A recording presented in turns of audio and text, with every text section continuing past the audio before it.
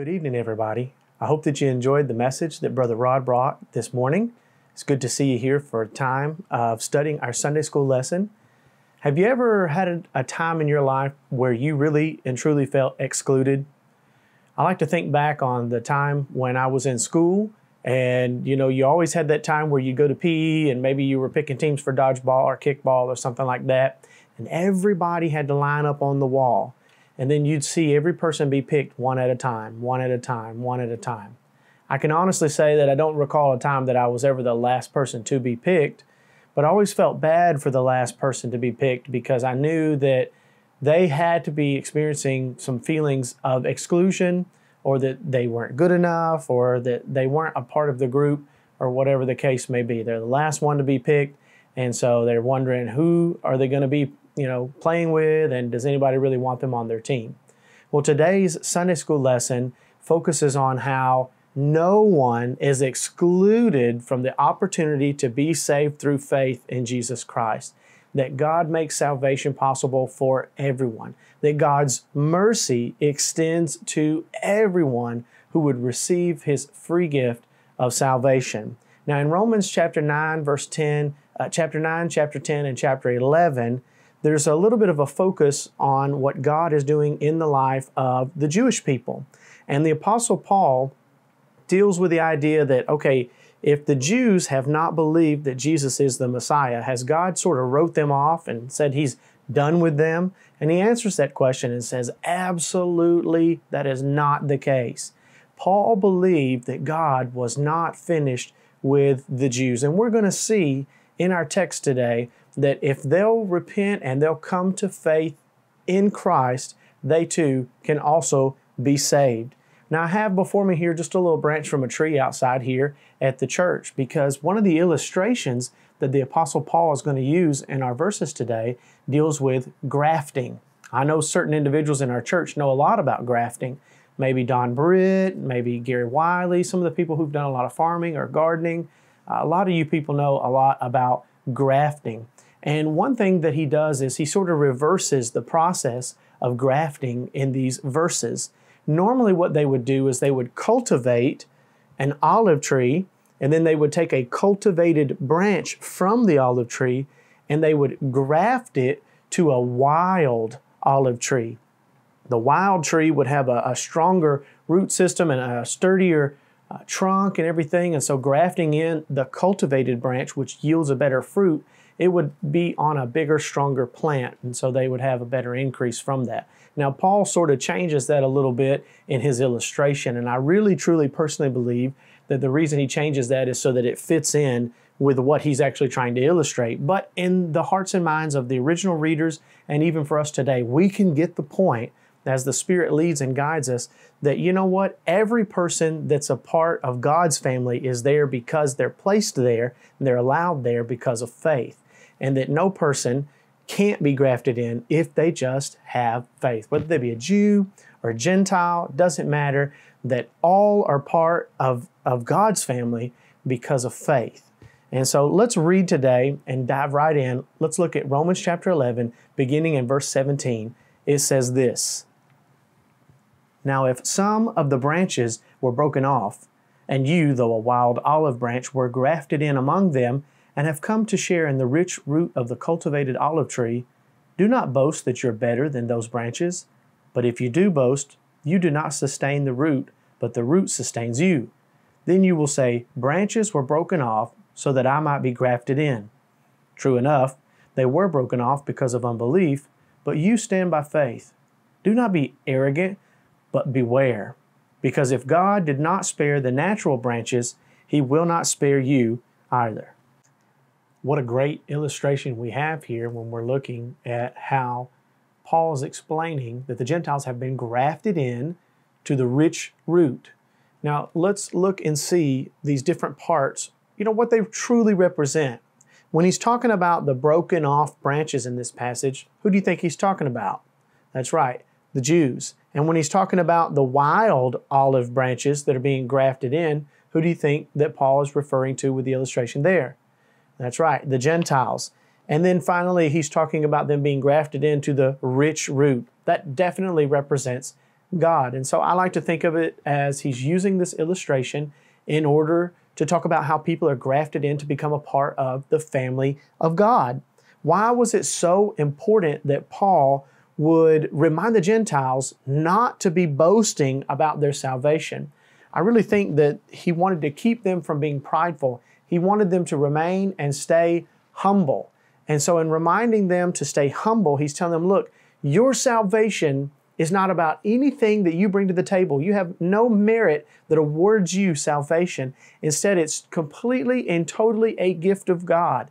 Our Sunday school lesson through and through is focused on mercy, that God has decided to have mercy on the Gentiles. They're not deserving of salvation, neither were the Jews. But every person that has salvation has been freely given it, and it is a merciful act of God to include them and to bless them and make them a part of His family. And so, as he's reminding them of that, it, should cause believers to have, you know, gratitude, to be thankful. If we'll stay humble and remember that salvation is completely and totally of God, it'll remind us to stay thankful to God that He has gifted us with salvation that we can only have through faith in Christ, and it will cause us to live differently. Our lives, our sanctifications really uh, stems out of our uh, you know, God changing our life and changing our desires and making us thankful for what He's done for us. We become aware of what God's done, and then it changes the way that we live and the way we walk. It'll change the way that we speak to others. It'll change the way that we treat others. It'll change everything in our lives.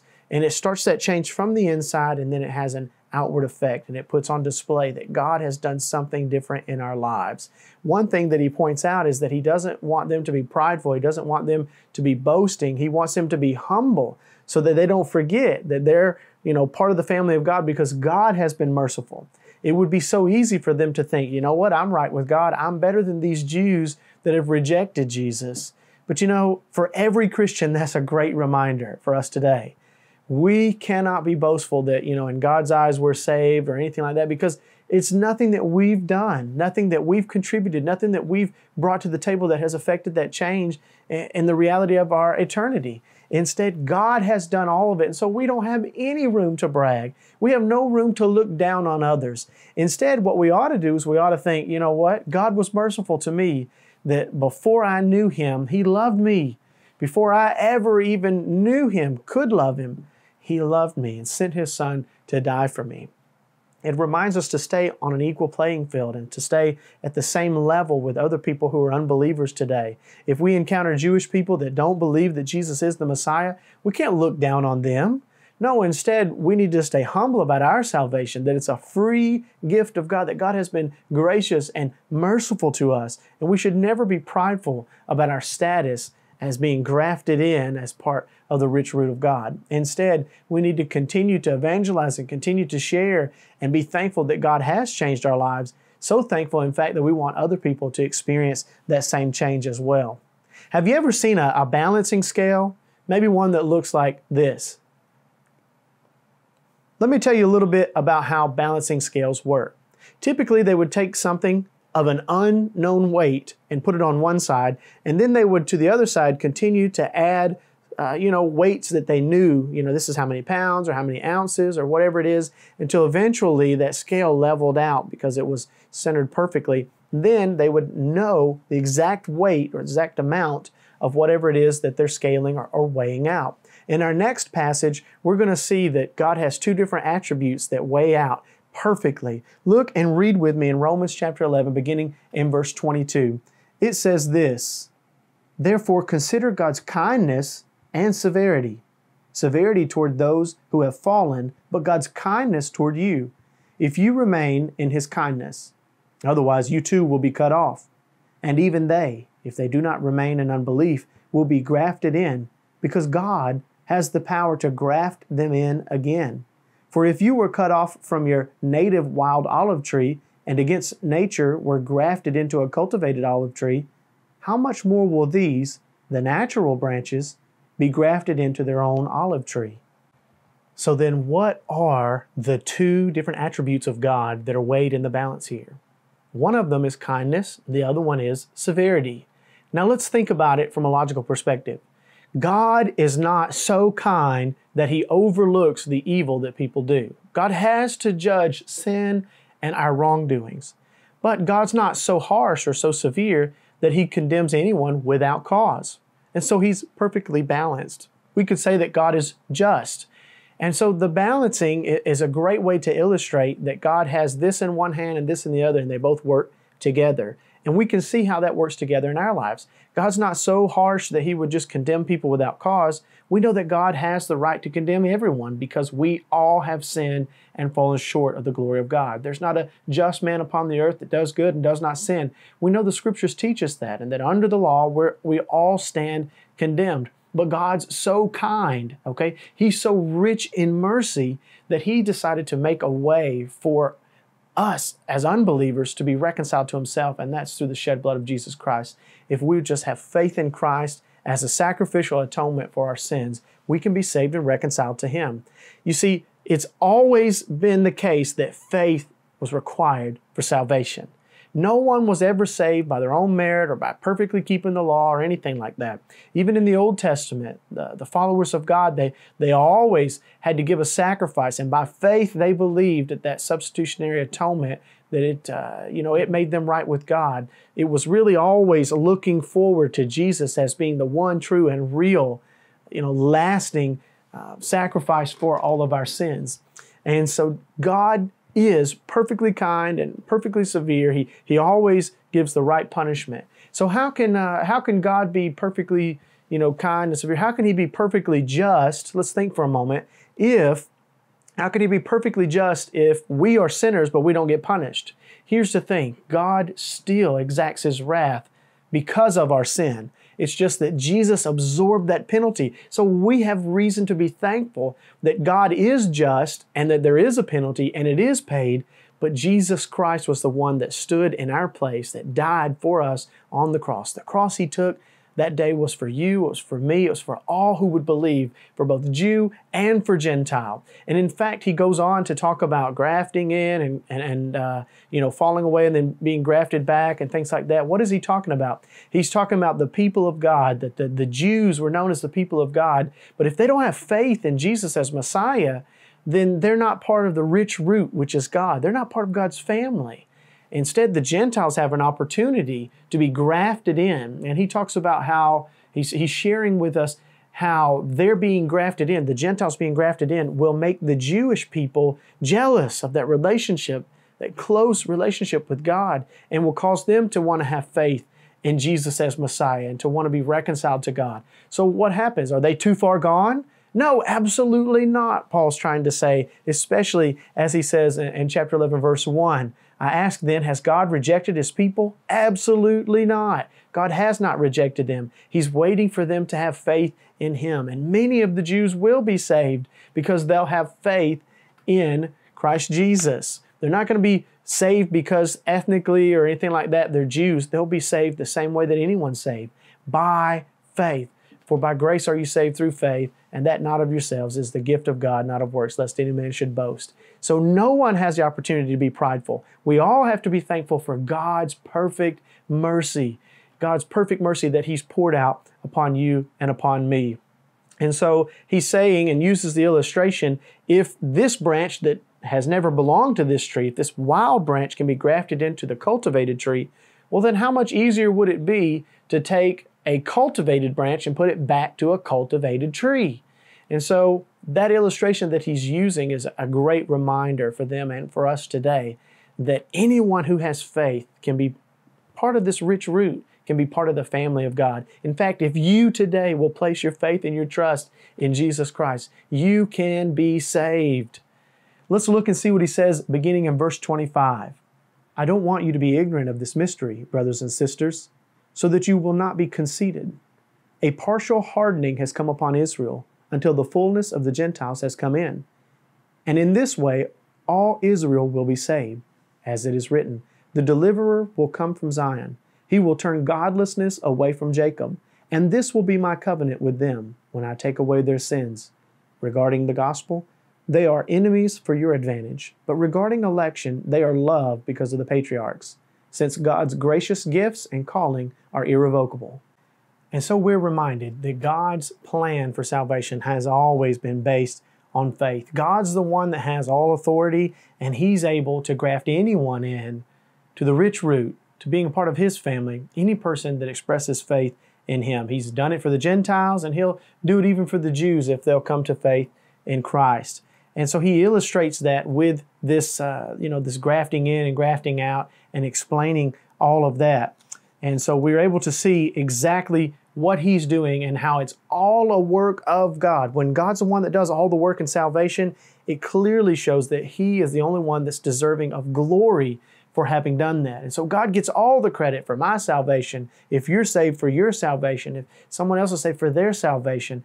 And it eliminates any opportunity for us to be prideful, and every reason is given to us to be thankful. But He also wants for us to be aware that, hey, Salvation is something that is totally a work of God, and God is still at work in the hearts and lives of people all around us, Jews and Gentiles. I like what he points out about how there's a partial hardening that's come upon, you know, typically the, the, the hearts of the people of Israel. Why? Because God is still working in and amongst them. We have to be dedicated to share the gospel with people who tell us that they're Jews but that they don't believe in Jesus, to share with them that we know that the Messiah has come and we need to be bold in our witness and in taking the gospel everywhere, including to places where people say they follow God, but that they don't believe in the Messiah. Let's look and see what it says beginning in verse 30. It tells us this As you once disobeyed God, but now have received mercy through their disobedience, so they too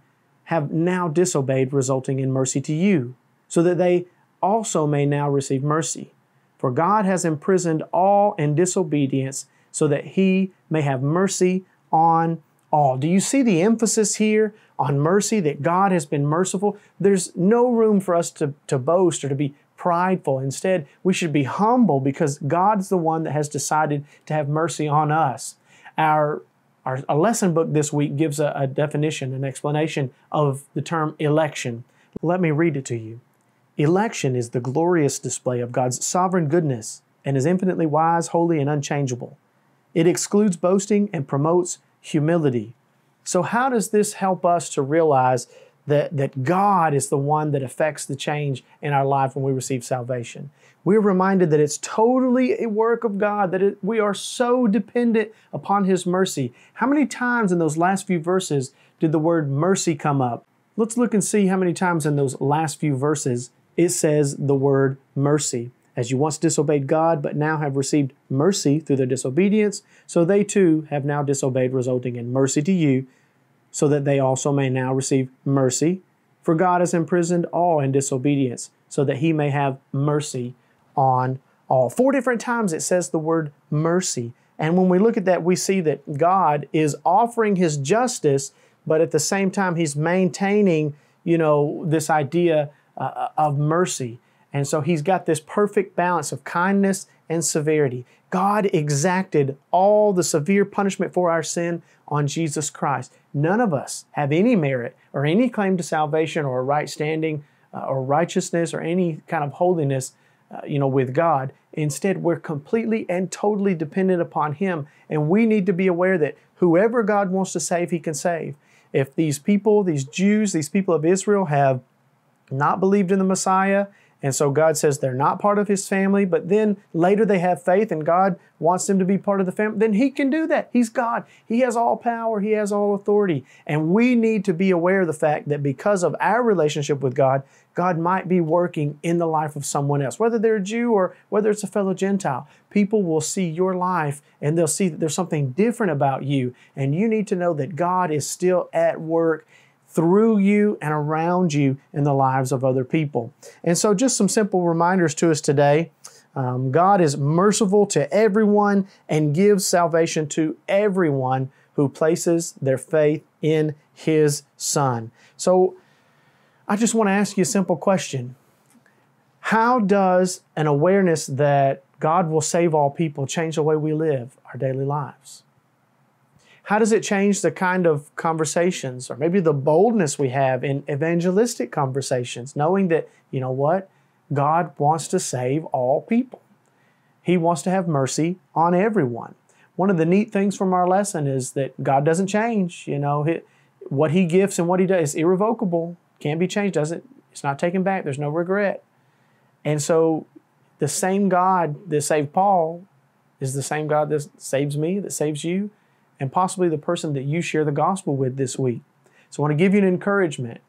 As you have received mercy, be humble about it, be thankful, but be aware that other people need to hear the good news and be bold enough to witness and share.